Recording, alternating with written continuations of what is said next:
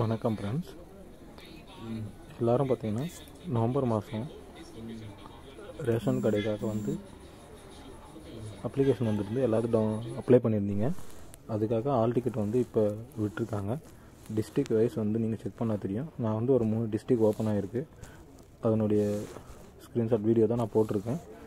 நீங்கள் user name பாஸ்வேர்டை வச்சு நீங்கள் உங்களுடைய டைம் டேட் எந்த காலேஜில் போயிட்டு எந்த டைமில் நீங்கள் இன்டர்வியூக்கு போகணும்னு சொல்லிட்டு என்னென்ன டாக்குமெண்ட் எடுத்துன்னு போகணும்னு சொல்லி செக் பண்ணிக்கலாம். ஓகே ஃப்ரெண்ட்ஸ் டைம் இருக்கும்போது யூசர் நேம் பாஸ்வேர்டு வச்சு கரெக்டாக ஆல் டிக்கெட் எடுத்து டாக்குமெண்ட் எல்லாத்தையும் ஒன் டைம் மட்டும் தான் உங்களுக்கு கொடுப்பாங்க. திரும்ப திரும்பலாம் போக முடியாது.